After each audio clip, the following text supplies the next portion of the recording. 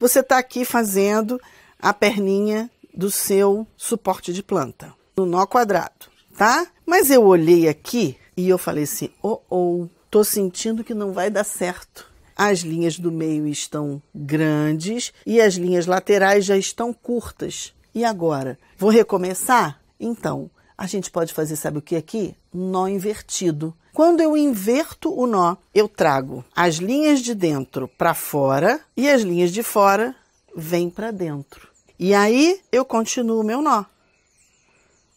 Olha isso. Eu fiz aqui um nó invertido. Faço um nó quadrado, normal. Olha.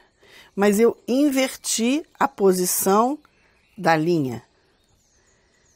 Fiz aqui um trabalho diferente que foi o nó invertido. E agora eu tenho as linhas laterais maiores e as linhas do meio menores. Então eu posso continuar o meu trabalho até onde eu precisava continuar. Chegou aqui a hora de finalizar e as linhas estão praticamente na mesma altura e eu posso finalizar o braço do meu suporte de planta. Então, o que, que eu fiz aqui? Eu inverti o nó. Eu trouxe as linhas externas que estavam curtas para dentro e as linhas que estavam compridas aqui dentro eu trouxe para fora e eu fiz aqui o nó invertido.